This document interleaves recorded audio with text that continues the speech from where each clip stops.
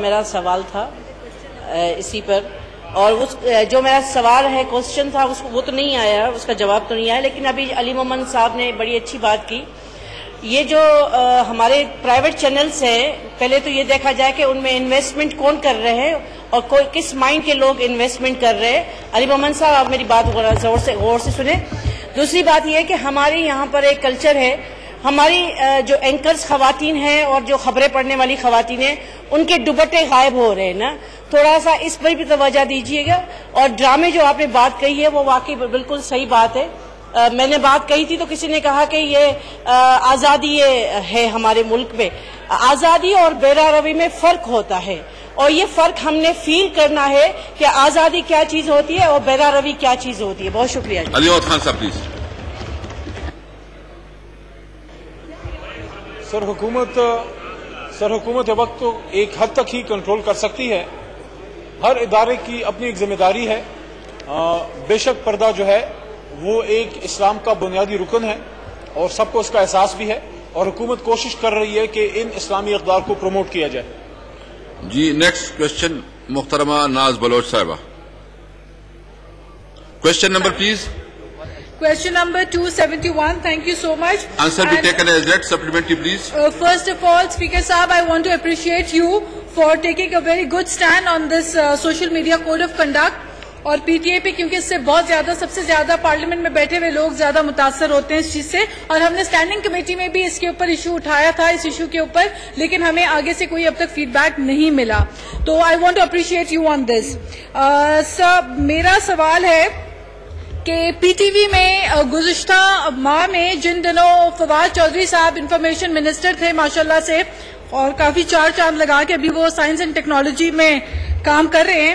NASA میں space میں وہ کہتے ہیں کہ ہبل بھیج رہے ہیں اسپارکو کی طرف سے ماشاءاللہ تو میرا سوال یہ ہے کہ پی ٹی وی میں جو فی الحال ابھی ایم ڈی لگائے گئے ہیں وہ کارپوریٹ کمپنی آرڈیننس 2013 کے خلاف ورزی کرتے ہوئے ان کو لگایا گیا ہے because he is already a member of the board تو یہ کیا ضرورت تھی وائلیشن کرنے کی اس قانون کو اور وائلیٹ کر کے آپ نے ایک شخص کو لگایا آؤٹ آف ٹرن آپ نے ان کو لگایا ہے تو میرٹ کا جو دعویٰ تھا پی ٹی آئی کا وہ کہاں پہ رہ گیا؟ اور اس کے علاوہ مجھے ایک اور سوال یہ بتائیے کہ انہوں نے اپنی تنخواہ میں اضافہ اسپیکر صاحب آپ کی توجہ چاہتی ہوں پلیز میں امپورٹنٹ بات کر رہی ہوں۔ کو سن رہا ہوں جی تھینک یو اچھا اسپیکر صاحب، یہ ہے کہ ایم ڈی جو گزشتہ تھے، انہوں نے اپنی تنخواہ میں اضافہ کرتے ہوئے ٹو پوائنٹ ٹو ملین اپنی تنخواہ کر دی تھی، جس کے اوپر ہم نے اسٹینڈنگ کمیٹی میں ایکشن بھی لیا۔ ہم نے کہا کہ وہ تنخواہ اپنی ریورس کرے، کیونکہ انہوں نے دیگر امپلائی کو پی ٹی وی کے کہا آسٹیریٹی اپنانے کے لیے۔ بقایا اپنے جو نچلے طبقے کا امپلائی ہے ان کو انہوں نے سبق پڑھایا۔ کوشچن یہی ہے کہ انہوں نے جب آسٹیریٹی کا مشورہ اڈاپٹ کرنے کا امپلائیز کو دیا خود اپنی تنخواہ 2.2 ملین کی تو کیا وہ 2.2 ملین تنخواہ جو غیر قانونی طور پہ انہوں نے اضافہ کیا تھا وہ واپس انہوں نے کی ہے؟ اور کیا اب جو ایم ڈی لگے ہیں جو کہ رولز کو وائلیٹ کرتے ہوئے لگے ہیں وہ اس پہ مجھے جواب چاہیے اور ان کی تنخواہ جو ہے وہ کیا علی خان صاحب پلیز یہ میرے بھائی فواد چودھری کے حوالے سے نے بات کی کوئی حبل دوربین کی اس کی تو مجھے اطلاع نہیں ہے۔ ہاں وہ یہ کوئی پوچھ رہی ہیں۔ باقی میں جواب دیتا ہوں۔ جی فواد چودھری صاحب۔ فواد چودھری صاحب کدھر ہے آپ کا مائک؟ جی جی فواد چودھری۔ مجھے بڑی سر مجھے بڑی خوشی ہے کہ آج کم از کم سائنس اور ٹیکنالوجی کا ذکر ہو رہا ہے۔ میں اپنی محترم ایم این اے سے پوچھنا چاہوں گا کہ ان کو یاد ہے کہ پیپلز پارٹی کا سائنس اور ٹیکنالوجی کا وزیر کون تھا؟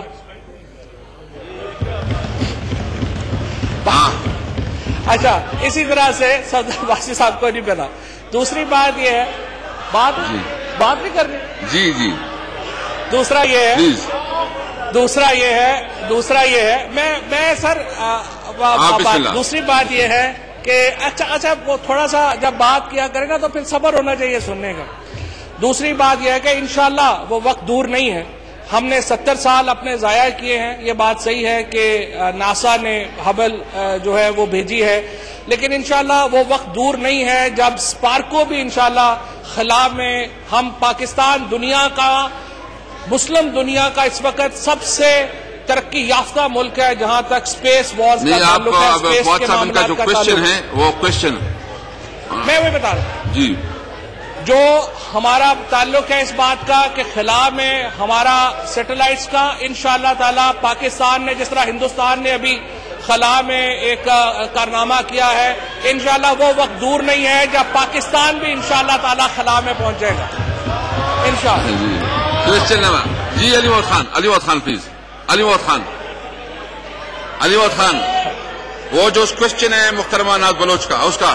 علی خان صاحب پلیز سر علی خان. سر ویسے ہی ذرا تھوڑی تھوڑی تھوڑی بوریت ہوگی تھی تو میں نے کہا ذرا فواد چوہدری صاحب ڈسکشن کر لیں گے تھوڑا ماحول بہتر ہو جائے گا۔